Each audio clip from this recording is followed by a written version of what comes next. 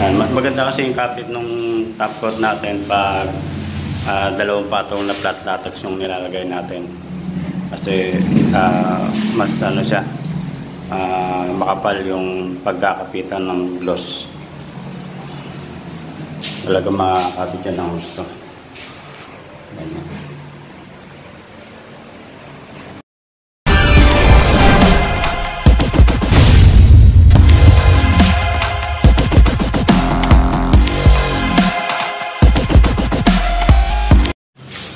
Okay mga boss, good morning po sa inyong lahat. Yan. Ah, welcome back again sa ating YouTube channel. Yan, nandito na naman tayo sa trabaho natin. Ah, dito sa bahay nila Tita Mel. Yan. Ah, bali dito na tayo sa kwarto. Yan. Ah, preparation to para sa top coat natin. Ah, bali tapos nang mamatilyahan ito, tapos nalihan na rin. Ah, nalinisan na rin natin. Yan o. Hanggang sa pisam yan. Bali, lalagyan na natin siya ng puti, flat latex muna. ah, para may top coat natin ang gloss ah, latex yan. Yan. Bali, ang ginagamit natin uh, Boysen nga na flat latex white. Dahil bali, dalawang patong itong gagawin natin na flat latex na white. Tapos, ah, dalawang patong din na gloss na latex. Yan. Medyo merong medyo malaki itong kwarto. Ah, hindi ko hindi naman kalaki yan, pero mas malaki pa yung nasa kabila. Kasi master's bedroom yan sa kabila. Yan. Medyo mainit dito. Yan. Kasi kulubi, nakasarado yung pinto. Tapos yung bintana, open konti. Ayos na wala na natin.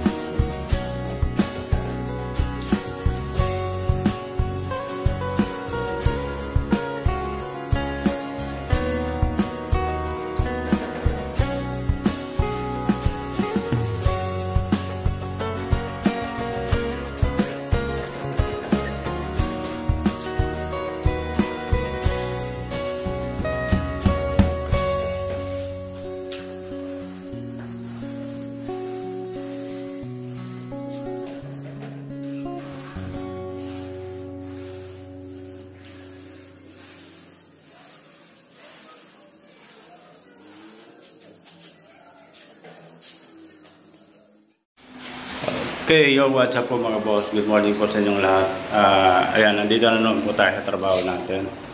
Ah, bali, kahapon natapos na natin ah, lagyan ng flat latex itong mga kwarto. Ayan, pati yung kisame yan tapos na. Pag dalawang patong yung nilagay natin. Ah, yung kisame tapos na, tsaka yung dun sa kabilang kwarto. Ah, bali ngayon, ah, lalagyan na natin ng flat ay ng gloss na latex to. Pang top coat natin. Ah, bali puti rin siya. Yan ano na natin puti na lahat.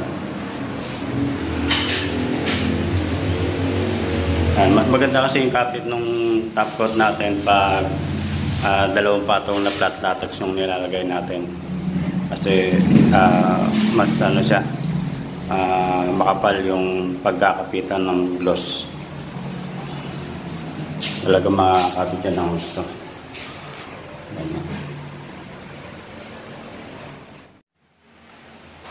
Okay mga boss yan na nakatap na po tayo mag ah, lagay ng flat latex na white. Ah, bali ang dalawa patong po yan na flat latex na white yan para mas maganda yung kapit nung lalagay natin top coat yan. Hanggat maaari ah, gawin natin dalawang patong talaga para ah, hindi tayo aksayado sa top coat kasi mas makapal yung ah, flat latex mas maganda yung ano ng top coat kapit Mhm. tsaka matibay okay bali boysen po na flat latex white yung ginamit natin dyan. okay okay yan o Ah. bali i- tataputan natin na ng gloss white latex okay thank you Okay, yan nga mga boss. Uh, bali, ito na yung uh, pantapot natin. Ito. Yung gloss latex na white. Ito na yung pantapot. Unahin natin itong part ng maliit. At uh, lipat tayo doon. Mali, ganun lang tayo. Uh, bali, uh, hopefully matapos natin itong dalawang kwarto na to. Uh, sa, lalagyan ng stripe ito eh. Bali, ang stripe na lalagyan nito yung cornet at saka yung baseboard niya, ang kulay old rose. Yan.